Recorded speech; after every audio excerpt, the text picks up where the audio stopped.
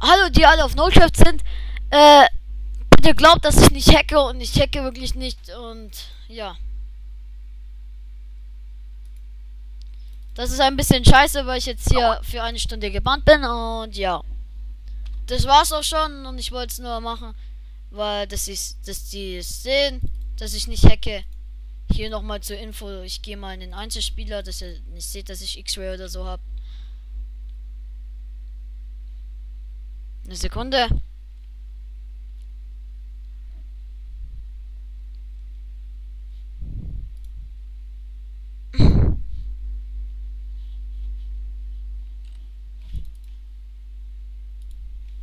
Ja, einmal hier.